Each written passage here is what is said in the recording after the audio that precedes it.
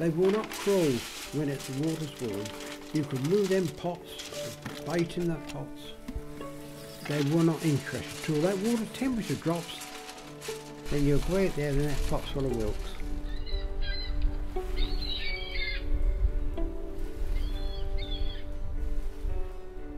We have some hard work down here at times, but I, I just plod on and, and get the jobs done. Sea snails are wilkies. I've done a bit of fishing, trawling. Then I spent most of my time working. We tip the whelk out of the boxes, I wash them. We grade them into the tubs, which is a four gallon measure.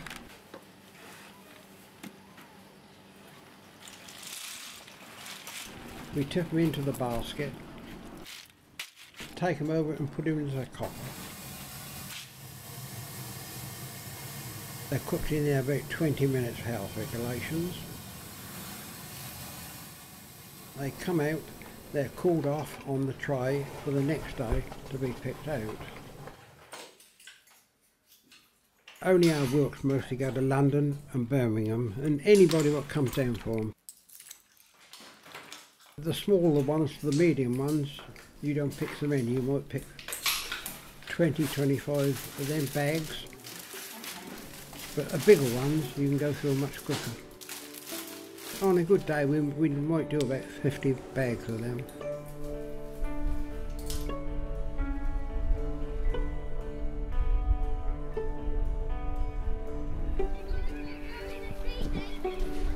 You get thousands of people down here. Something attracts them down here, and I, don't know what it is. Well, it's because it's Whitstable, and they like to come around and see the boats in the harbour.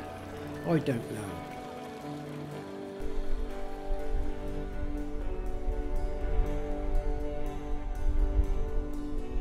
Yes, I like to keep jogging on as long as I can anyway.